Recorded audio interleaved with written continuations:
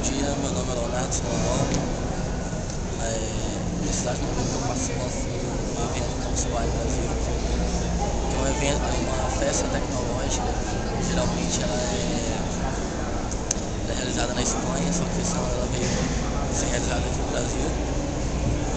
E as pessoas que participam desse, desse evento, elas, as pessoas vêm aqui compartilhar informações trocar conhecimentos, que é, é a essência do evento.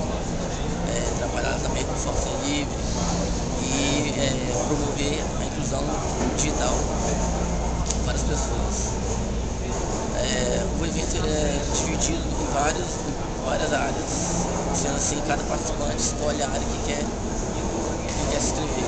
Temos área como robótica, desenvolvimento, simulação, onde você tem simulações de softwares que trabalham, é, que simulam voos de, de aviões, é, temos a área de, de blogs também, desenvolvimento de blogs, fotologs, e entre outras áreas, como música também, temos áreas de lazer também que as pessoas podem estar tá, tá se distraindo também.